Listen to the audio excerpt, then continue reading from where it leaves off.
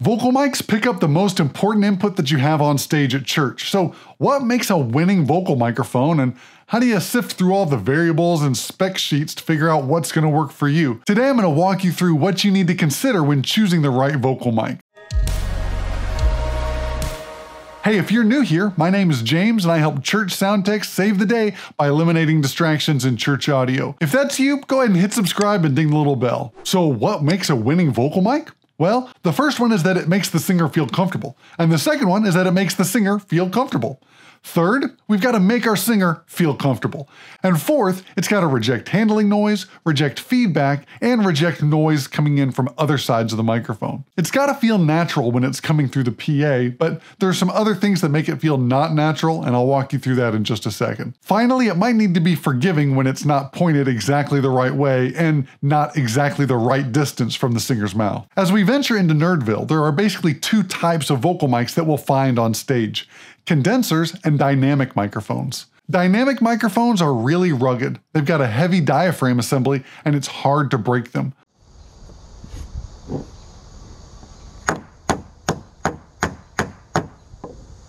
Unfortunately, this also means that they don't capture high frequencies as well as condenser microphones. Condenser microphones have a lighter diaphragm assembly, so they can pick up more of the airy feelings on our vocal sounds. Although there are some dynamic microphones that sound a lot more like condenser microphones. Two that come to mind are the Heil vocal mics and the Shure KSM 8. The first thing a lot of people want to think about when they're trying to choose a vocal mic is the frequency response. That's the balance of the high, middle, and low frequencies that the microphone's going to pick up. But there's more to this story than what we're going to find on a frequency graph, because that only deals with the microphone at one distance and one direction. But microphones and vocals happen in three dimensions, and distance and angle all make a difference on how the mic sounds. The directional characteristics of a microphone are called its polar pattern, or when we point it at something, is it going to pick up frequencies only from the front and reject the back? And usually that's what we want. That's called a cardioid pickup pattern. But some other microphones pick up from the front, but they also have a little lobe in the back so that they can be narrower on the sides. This is called supercardioid, or if it gets really narrow, it's called hypercardioid. How the microphone picks up directionally is called its polar pattern. The front of the mic is called on axis. Basically, it's what the mic is pointed at. But if a microphone picks up from 360 degrees all around, we call that omnidirectional, and that's not usually a great option on stage. A cardioid, or unidirectional microphone, has a heart shape on paper, but in reality, it's in three dimensions. So it's kind of like we took a balloon and stuck our finger into it. And that's what the pickup pattern looks like for cardioid microphones. Supercardioid is really similar, except there's a little bit of a lobe in the back where it actually picks up the sound so that it can reject more sound coming from the back and sides of the microphone. If this polar pattern got even narrower, we would call that hypercardioid, but there's not a whole lot of hypercardioid vocal mics that you'll find on stage. Now remember how I told you that the frequency response chart doesn't tell the full story? Well, that's because this polar pattern is not absolutely perfect.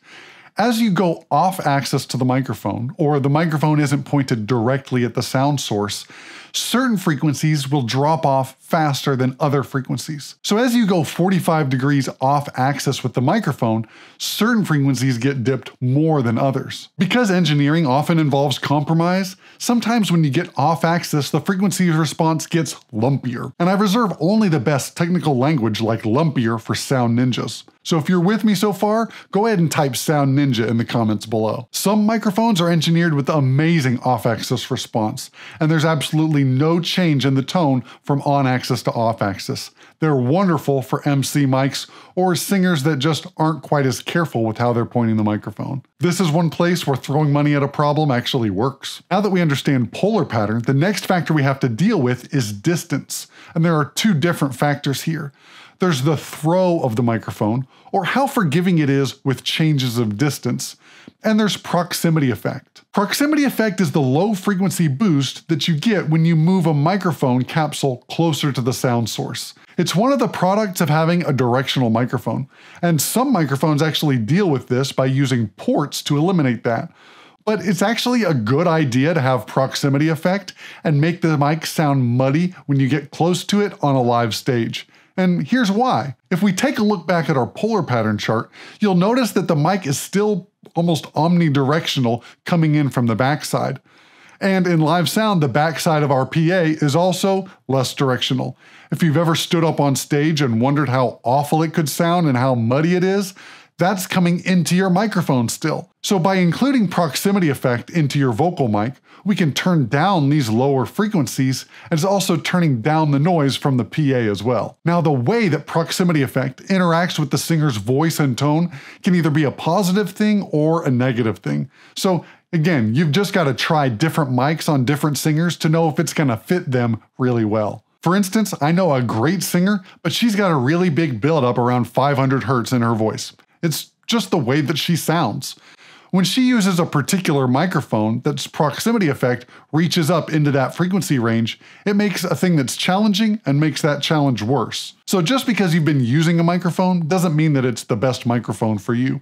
Try some new stuff and see if it works better and gets rid of some of the problems you've been chasing around. Now, the other thing that comes with distance is the throw of the microphone, or how much it's easy to get back off that microphone and not have it drop off too much in intensity. Some microphones, like the Neumann KMS 105 and the Shure Beta 87, they're really good at picking up even when the singer backs off quite a bit. But other mics, like the Audix OM5, drop off quite a bit.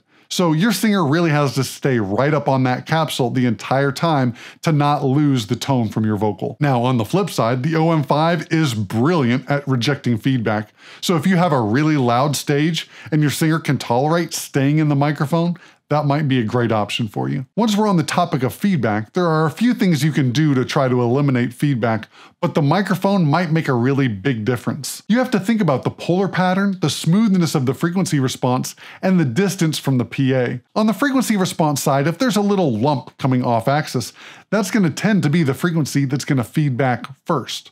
It's just another reason why buying quality gear really does make your life easier. You also want to make sure that any stage monitors are pointed at the null lobe of the mic's polar pattern. Basically, if it's cardioid, put the monitor right behind it. If it's supercardioid, put it off to the side. It's usually 60 degree angle. The third factor in keeping a mic from feeding back is how much mass the diaphragm assembly has. A moving coil microphone has the entire voice coil attached to the diaphragm, so it takes a lot more energy before that will start to move and ring, especially compared to a lightweight diaphragm of a condenser microphone. Because there's less mass, it will start to move more quickly with less energy. Now that we're through Nerdtown, it's time to talk about our feelings, or our singer's feelings, because the mic has to feel good to the singer for them to perform their best. Some of the less tangible things that go into how a microphone makes a singer feel are its texture, how they imagine they should sound, and how the proximity effect affects the resonance that they're feeling inside their chest cavity. And this is one place where in-ear monitors can make things really tricky because you're shoving something in their ears and they're also hearing themselves resonating through their bones as well as what's coming through the little speakers in their ear canal. This texture and resonance thing can also make a difference with their monitor wedges, so you just have to watch out and try to figure out what it is that they need both from their monitors and from their microphone. Ultimately, the singer's singing has a lot more to do with tone than what microphone they're using. So when they feel like they sound good, they sing with more confidence, which makes them sing better. But if they feel like they don't sound so good, then they don't sing with as much confidence and then they sound worse. So it can be a cycle in either direction, and that's why it's so important to get this part right. On top of that, confidence can be contagious. So if they're confident that you're doing your very best to make them sound the very best they can, they can believe that you're fighting for them with your EQ, compression, reverb, mic choice, monitor mix, all of that to make them sound the best. They're to have a great day and sing really well. At the risk of sounding like I'm tooting my own horn, I've got a little story to tell you. At the International House of Prayer in Kansas City, there's about 14 worship teams that rotate around the clock 24 7, 365. And often I would sub running sound on those worship teams. And sometimes the singers would say to me afterwards, My voice felt so good when you ran sound. I don't know what it is, what you did to my monitors, but I just felt like I could hear myself really well. But in all honesty, I recalled their monitor mixer and their monitor console the exact same way that their normal sound tech did every single set. So, what made it different when I was running sound compared to what other people were doing? I've got two theories. The first is that the way that I EQ, compress, and push up the vocal to stay out in front of the house mix made them feel like they had more support coming from the backside of the PA, so they felt good right when they opened their mouth.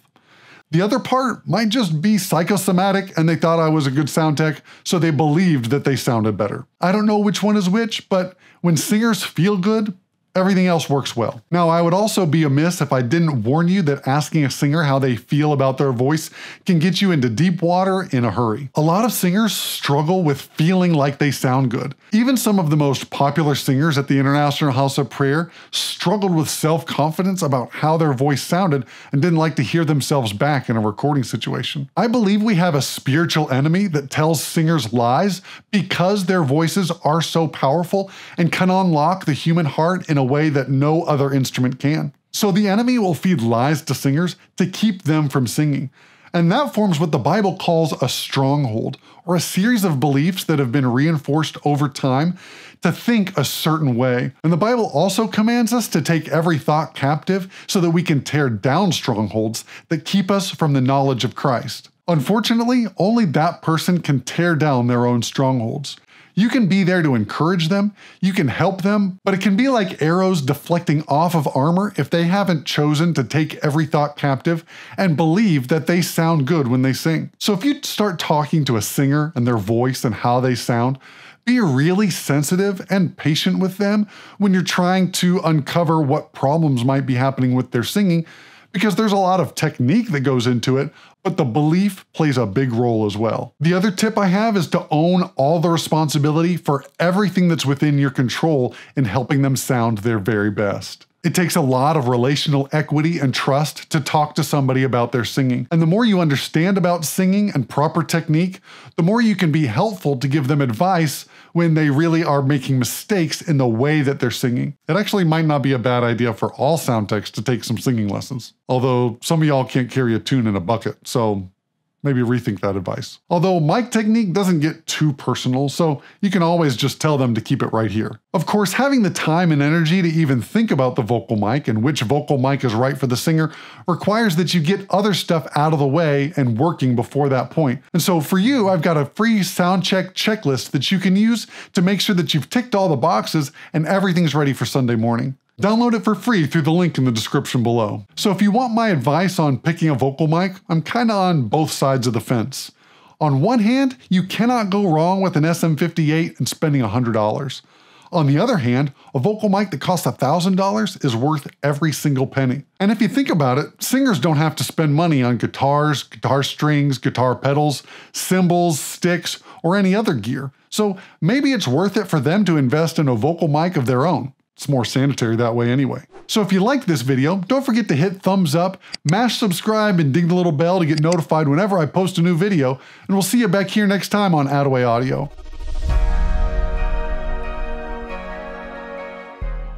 Hey, it's me again. You can check out some other videos down here and another video down here.